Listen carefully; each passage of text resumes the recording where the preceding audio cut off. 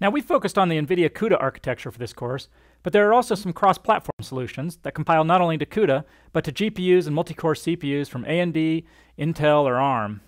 Some of the tools and libraries we've already mentioned, like Halide and Copperhead, specifically target CPU backends. Three other cross-platform solutions uh, worth mentioning are OpenCL, OpenGL Compute, and OpenACC. You'll find that these first two are really similar to CUDA in the overall shape. They share concepts such as thread blocks and shared memory, even though the names and syntax vary. For example, OpenCL refers to work groups rather than thread blocks. But the basic ideas are isomorphic to CUDA. And that's one reason why we focused on CUDA is that what you learn there is really applicable in many places. OpenGL Compute, as the name implies, is tightly integrated with the extremely popular OpenGL graphics library. And this makes it a good choice for developers that are doing graphics or image processing work who need to support multiple GPU vendors. Now the third option, OpenACC, is a little different. This is a directives-based approach.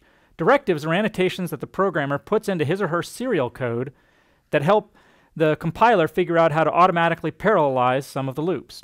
For example, with the appropriate directives, an OpenACC compiler can transform a nested for loop into a thread launch on CUDA, or a multi-threaded SIMD routine on a multi-core CPU. So often adding just a few lines to an existing code base can get dramatic speedups. And this is what makes OpenACC a great choice for programmers that have a large legacy code that they want to parallelize.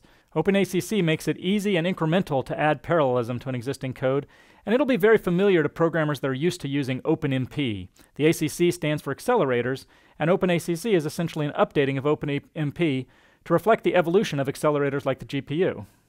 OpenACC compilers exist for C, C++, and Fortran.